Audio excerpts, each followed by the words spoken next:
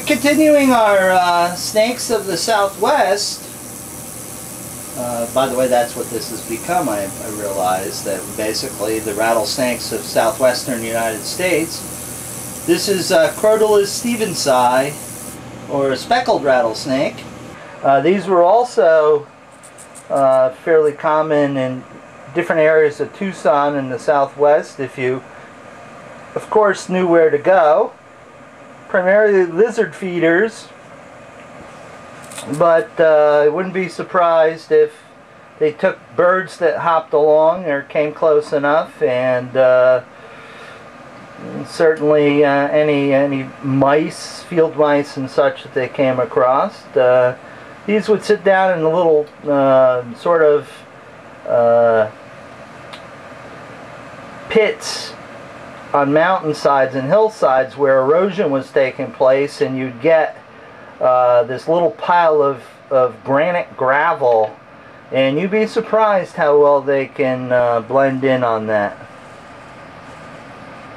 I remember a lot of these animals when they were just little tykes and uh, this is the first time I'm seeing them in quite a while. Uh, none of us really drive around uh, and take our, our snakes for rides and stuff.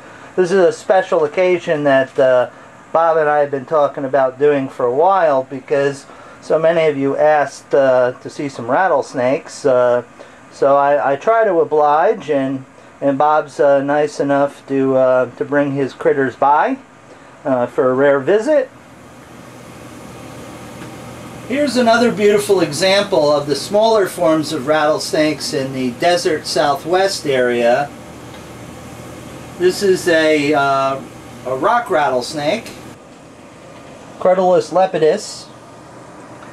And they come in a whole variety of different flavors.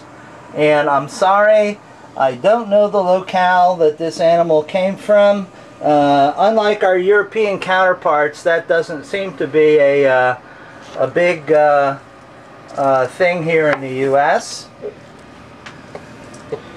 Uh, obviously touching her back end didn't get her to turn around like I wanted her to. But uh, these are another small species, mountain species, high altitude, high elevation for the most part. Say hello to the camera, sweetheart.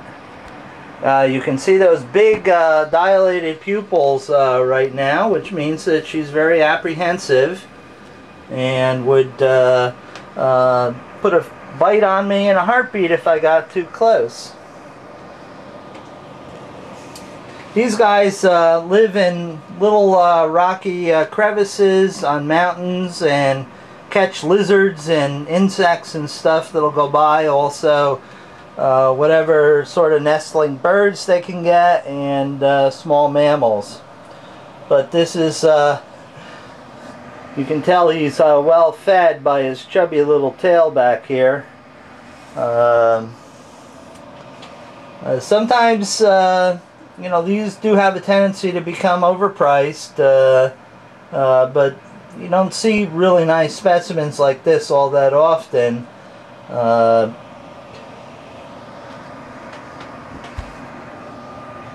again, there's not a lot of bite information on Lepidus, but uh, I guarantee you, you'd be in a world of hurt.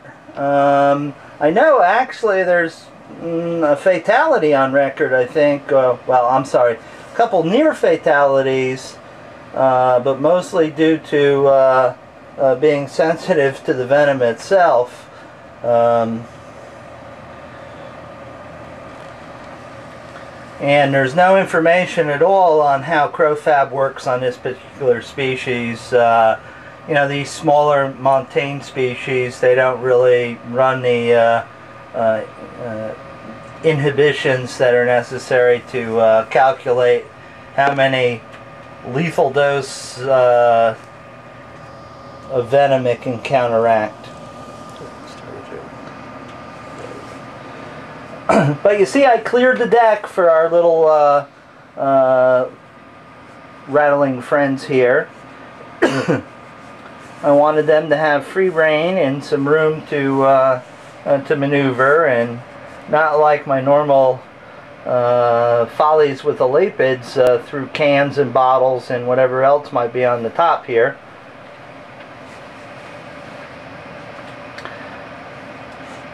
I saw a, a bunch of lepidus once at the uh, uh, the Rattlesnake Museum in Albuquerque, New Mexico that seemed to develop uh, tumors on the top of their head. Didn't seem to affect them, uh, but would have this uh, rather large pronounced lump on top of their head. Uh, but didn't seem to adversely affect them.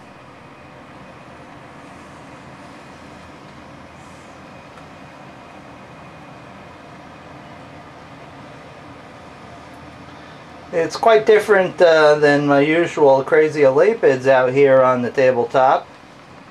Um, she's, uh, he's just fairly calm, just sneaking around, picking up the different scents that are here. Crotalus lepidus cam. Okay. That's Crotalus lepidus. And this little guy with the piece of substrate hanging from his lip is uh, Crotalus pyrrhus.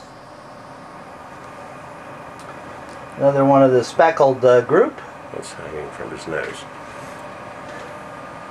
Hey Bob, why don't you uh, reach right down there while I have the camera here and uh, you can pluck it off his okay. nose. Do you want me to put his mouth? Do you want me to put him in my mouth while I'm at it? Well, yeah, I mean the Hopi Indians, uh, you know, jump around uh, and do their ceremonial dances uh, uh, with the Hopi rattlesnakes in their mouth. not my idea of a party that I want to go to. Um, Bob, down there on the cup, just give me a pair of forceps and I'll uh, I'll attempt to extract the uh, since this is my facility and these are rather short I'll uh, yeah I know am I pissing you off huh?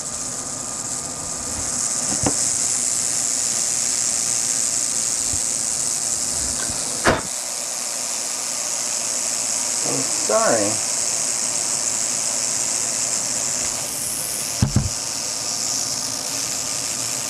Okay, I think that got it? Yep.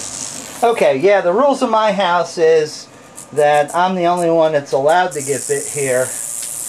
Um, so I do all the dangerous things like pulling substrate off the uh, face of the pyrrhus here. At any rate, this is another uh, southwestern species. You can find these quite nicely up near Phoenix, uh, up in the Superstition Mountains. Hey, bud. Uh, touching them on the tail doesn't quite have the same reaction as if you touch one of my mm, puff adders on the tail or, uh, or one of the mambas. I see your uh, your pyrrhus is going to uh, tempt the gravity well here, which consumes lots of snakes.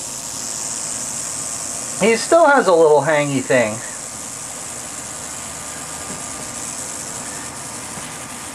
You know, that that's a good question.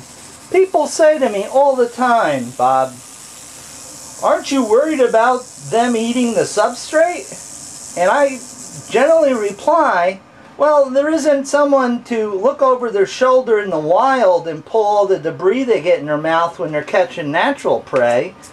Um, I think the the issue that some people are having, you know, they claim compaction of substrate material inside their snake is actually their snake is poorly hydrated and can't deal with the substrate, although I will admit, if you get enough of the woody substrates in there and you add water, they'll swell. Um, but you certainly don't want to try to have your snake ingest uh, uh, extra substrate. But properly hydrated, um, they should uh, it should not be a problem. I use a number of substrates in this facility and have never had a, a bowel impaction or anything like that. uh, because I take the time to hand water as many snakes that will uh, take water uh, directly from my hands and from my squeeze bottle. That way I know they're getting uh, proper hydration. At any rate, this uh, this is a little pyrrhus. It's a screamer. Um, he is just adorable. And he sort of has the little coon tail like your big old Atroxes have in, in Tucson. Uh, that was what that is absolutely one thing that I miss. Uh, no reason to keep uh, rattlesnakes in your house uh, in Tucson because uh, probably a good uh, 10 months out of the year you can go out and uh, if you know where to look you can find them with very little trouble. A matter of fact, you know, I've, I've found them even crawling through my property uh, at various times of the year and that's always exciting to come out your front door and, and find a rattlesnake there. but I had all sorts of interesting critters uh, roaming around my property from regal horn lizards uh, to red racers and of course the occasional uh, bull snake. Uh, I've caught long-nosed snake on my property when I lived in Tucson.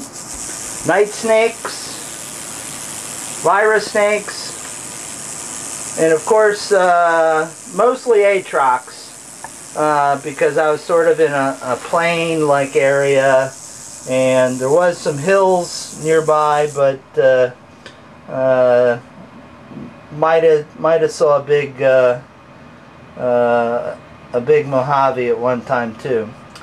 Any rate, this concludes our uh, rattlesnakes of the southwestern U.S. for the most part.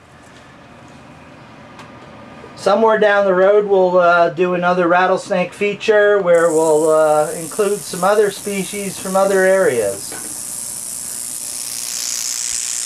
Meanwhile, uh, we'll uh, watch the little buzztail buzz. Special thanks uh, to Bob for uh, bringing the animals over and sharing them with us. I don't uh, get to play with rattlesnakes all that often, but they're certainly uh, my first love. Uh, especially the northern timber, which uh, uh, I know firsthand what it likes to uh, to be envenomated by one of those. Well, that's another story for another time, but rattlesnakes are certainly one of the more advanced forms of uh, venomous snake on the planet. Pit vipers and uh, uh, these guys, you know, that rattle also have a warning uh, uh, apparatus. Uh, so they don't have to use their valuable venom for warding off predators or uh, anything that might uh, squish them.